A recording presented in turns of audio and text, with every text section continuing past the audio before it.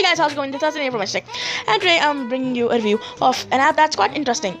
An app that will let you customize your TouchWiz device to your pleasure. Let's take a look at the Good Lock app in this full review. Let's get right into the video.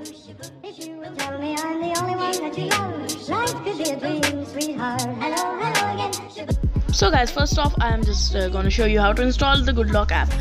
So obviously first you need to jump into your browser and I will leave links for the APK file in the description below. So just go and download the APK file and as you can see it's installing over here. Now do note you need to have a flagship running Android 6.0.1 and this does not work on the S5 or the Note 4. So first off just enable unknown sources and then install the APK then it will ask you for the permission to reboot the device. And once you reboot you will basically have the good lock app installed. Now let's get right into the review. As you can see there's an interesting look to the lock screen and you have the lock screen effects from 5.1.1 back. And you also have some uh, lock screen shortcuts and the notification panel is just revamped. It looks a lot more like android n not m n. And the lock screen does look pretty nice. You have the ability to add widgets to the lock screen just like android 4.2 and now when you pull down your notification panel and then pull up it will actually unlock your device. And there are two tabs in the notification panel. The, there is the all tab and then there is the keep tab in which you can keep the notification that you want to check out later. You can create routines for different times of the day where you can have different things toggled on or off such as Wi-Fi and Bluetooth uh, etc as you can see over here. And you can choose a clock style for your lock screen clock and there are quite a few of them. And all of them look pretty nice and you can then choose an accent color and a main color.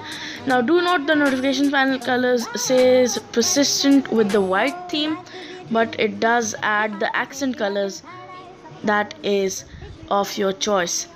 And also as you saw you just uh, saw the lock screen clock that was all text. And as you can see there are a lot of lock screen effects that are available. And also the solid wallpaper does look pretty nice.